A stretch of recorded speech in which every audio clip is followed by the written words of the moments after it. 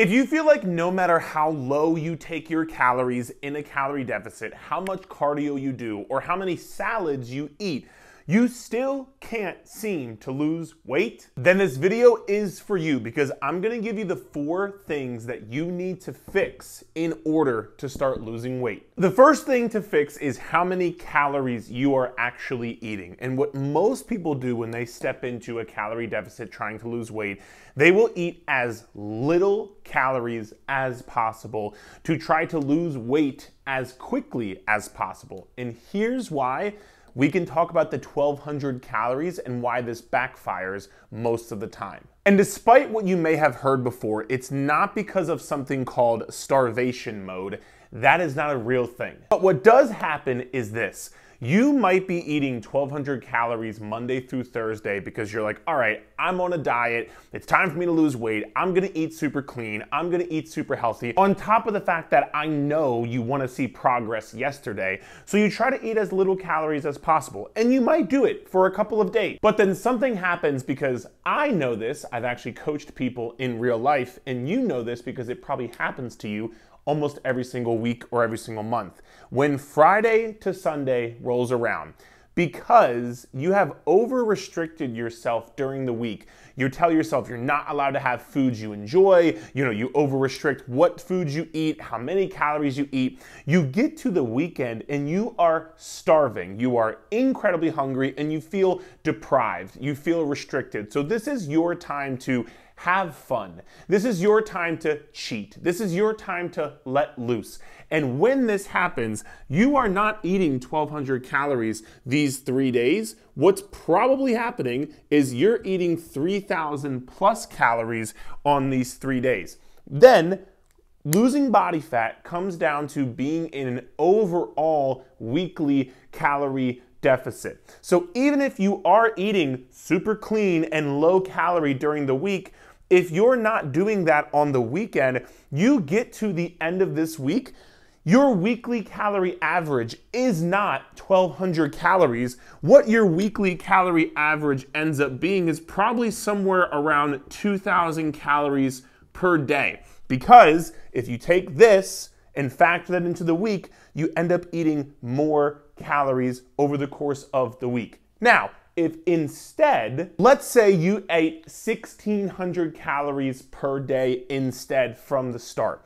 This way, that was a good catch, by the time the weekend rolls around, you are not feeling this like sense of deprived, sense of restriction, sense of like just overall physical hunger and starvation that you would feel if you're eating 1200 calories per day. So by the time, I didn't catch that one, by the time the week actually ends up, if you ate 1600 calories per day versus if you tried to eat 1200 calories per day, but didn't actually do that because you can't stick with it, so you'd end up eating 3,000 calories per day, you would actually eat less calories throughout the course of the week if you just ate more calories on a daily basis. Does that make sense? Which would then allow you to be eating less calories in a calorie deficit. So just make sure the calorie number that you pick isn't too restrictive so you can actually stick with it. And if you need to know what your calorie deficit number is, in the description of this video, there will be a free calorie calculator that you can use after this video to know what your calories per day should be. But with that being said,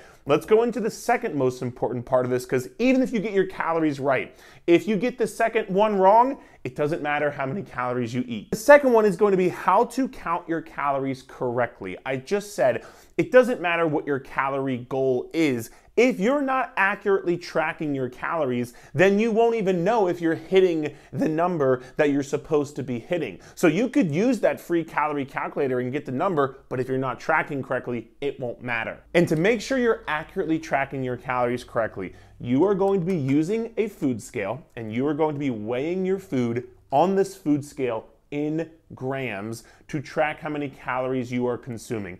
Not cups, I have them in my pocket right here. You're not gonna be using cups or tablespoons or ounces. And you might ask me, Eric, why not? When you're weighing the weight of a food, it's grams is a unit of measurement of weight. Cups, tablespoons, ounces, that is a unit of measurement of volume. We are trying to weigh your food. So you want to be weighing your food in grams. If it's a liquid, you can use either ounces or milliliters. Either one of those two is fine.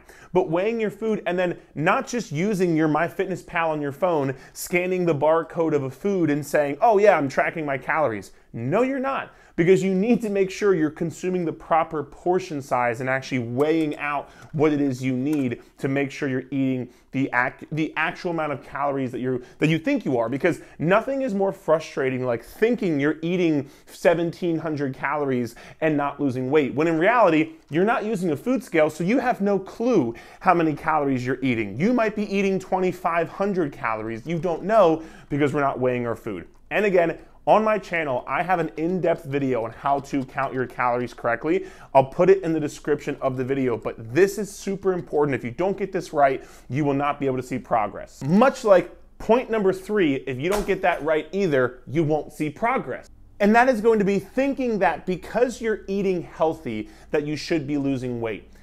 I'm saying this with love because we have coached thousands, tens of thousands of people online who have came to us and said, "But Eric, I eat healthy. I don't know why I'm not losing weight."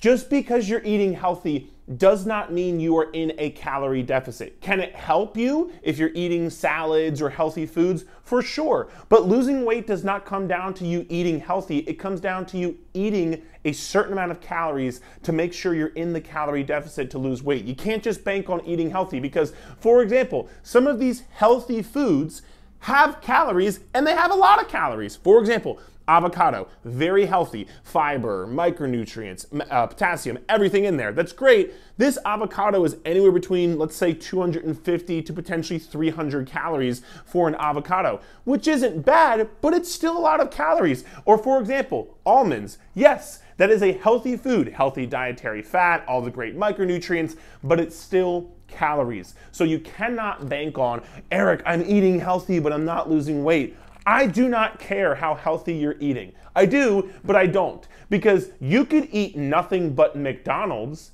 and as long as you're in a calorie deficit, you will lose weight. Vice versa, you could eat nothing but almonds and avocados and eggs and salads and, and, and chicken and, and ground beef, whatever. If you're not in a calorie deficit, you won't lose weight. So you have to throw out, like, don't ever say it again. I'm gonna break this board. Seriously though, don't ever say it again. I'm eating healthy but not losing weight. Eric, I eat relatively healthy. Eric, I don't eat out that much. I don't care. Where are your calories? Because that is what matters. And this is even more of the fact that you don't have to cut out your favorite foods in order to lose weight. For example, every single night I have three to five of these Thin Mint Oreos, which by the way, best Oreo flavor ever. And if you comment something like, oh, they taste, uh, why would you want your Oreos to taste like toothpaste or whatever you guys say? Screw off. These are the best flavors, and you can't tell me otherwise. But I have this every single night. And you can have the foods that you enjoy as well, as long as it's within your overall calories for the day, and you're still going to lose weight. This can actually go back to the first point that we made earlier. Most people try to cut out all of their favorite foods and over restrict themselves, which is why they end up binging on these foods later on. If you just understand, you don't have to only eat healthy or only eat clean. Eat the foods that you like within your calories. You'll stay more consistent and you will lose weight. I promise. And full transparency, the last point, point number four, is something most people struggle with, which is trying to exercise your way to a calorie deficit. When most people think about exercising for weight loss, I'm sure you're thinking about those high intensity boot camp classes. I'm sure you're thinking about doing cardio, making sure you get your heart rate up, and just like absolutely exhausting yourself in your workouts. If that's what you enjoy doing, that's one thing, but you are never going to be able to out exercise a bad diet and you're never going to be able to exercise your way to and, and, and cardio and boot camp and HIIT workout your way to fat loss and here's why. This is a very caveman style drawing of how your body burns calories in a day 70% of your daily calorie burn comes from something called your BMR, which just means like how many calories your body burns if you laid in bed all day and did nothing. Your body still has to burn calories to keep you alive. 70% of your daily calorie burn comes from that. The next 15 ish percent comes from something called your NEAT, your non exercise activity thermogenesis. This just means like all of the walking that you do, like walking up and down the stairs to the fridge, walking to, into work, and all of the extraneous movement that you do, like I'm doing these weird things with my hands right now that is considered NEAT. It's all the exercise and movement you do that is not a dedicated workout. So that takes up 15%. Roughly 10% takes up your TEF, which means your thermic effect of food, which means how many calories your body burns digesting the food you eat. And then last but not least, comes your exercise. Your exercise takes up maybe 5 to 10% of your daily calorie burn for that day. And so if you're trying to use the smallest portion of calorie burn to get to your calorie deficit, it's never going to work. And that's why we often encourage the clients that we work with and coach. Your exercise should be about building muscle, getting stronger, making you feel better, uh, you know, having healthier bones, preventing injuries, boosting your metabolism, all those great things.